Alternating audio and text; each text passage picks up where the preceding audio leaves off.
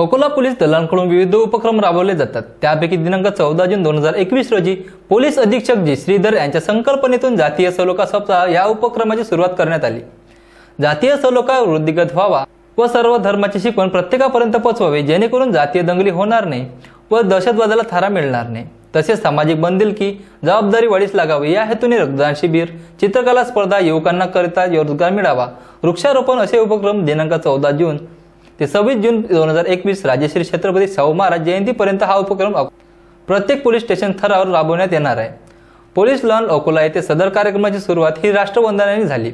Upper police अधीक्षका अकोला मोनिका राऊत यांच्या हस्ते जातीय सलोखा या क्रमांकाचे उद्घाटन केले झाले जातीय सलोखा सप्ताहामध्ये सर्व धर्माची शिकवण एकच आणि राष्ट्रीय एकात्मता या विषयावर खुली चित्रकला स्पर्धा आयोजित केली असून सदर विषयावरील चित्र हे दिनांक चोवीस जून दोन हजार एकवीस पर्यंत अकोला शहरातील पोलीस स्टेशनच्या गोपनीय विभागात जमा करावायची आहे.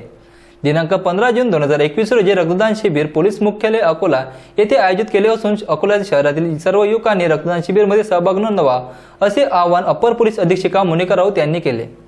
कार्यक्रमाला प्रमुख पाहुणे म्हणून डॉक्टर प्रदीप अवचार पत्रकार संघटनेचे अधीक्षक मीर शौकत अली मुफ्ती बरार अब्दुल रशीद उपविभागीय पोलीस अधिकारी शहर विभाग अकोला सचिन कदम हे होते. सदर कार्यक्रमाचे संचालन दहशतवाद विरोधी कक्षाचे निलेश गाडगे यांनी केले. प्रस्तावना शहर वाहतूक शाखेचे पोलीस निरीक्षक गजानन शेडके व आभार प्रदर्शन पोलीस निरीक्षक विलास पाटील यांनी केले.